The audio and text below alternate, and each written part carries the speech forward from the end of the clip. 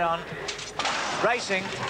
And from the inside old acquaintance began well. Very slow to begin was Tamar Moon it missed it about five or six links I guess.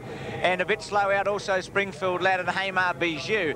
Settling down old acquaintance at the 1400 True Style's gone up to join him in his favourite role. And then High Country Ballywick Bow Lane Take Heart Trapped out wide and Nakundra behind them, Real Purpose, and Ben Farris just up in front of those from Royal Malcolm, Mantina, Springfield, Lad, Hamar, Bijou.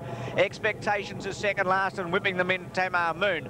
15 to 20 links cover them as they go up towards the 1,000 and True Style bowling along two links old acquaintance. One to High Country, a half to Ballywick, a length away then to Take Heart three deep with Ben Farris and Bow Lane.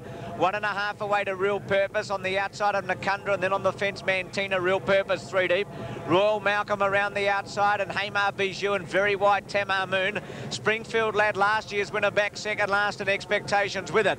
True Style at the 700 about a neck in front of on the outside Old Acquaintance and High Country and Ballywick five wide. Real purpose out wide, but moving forward from Nakundra, Ben Farris, old acquaintance, take out the centre. Mantina, Springfield lad last into the straight with expectations, Tamar Moon and Hamar Bijou. True Style at the 300, led about a length from Ballywick out after it, and Real Purpose joining in with Bow Lane taking a split. High Country behind those horses with Take Heart and Nakundra running on and out wide expectations.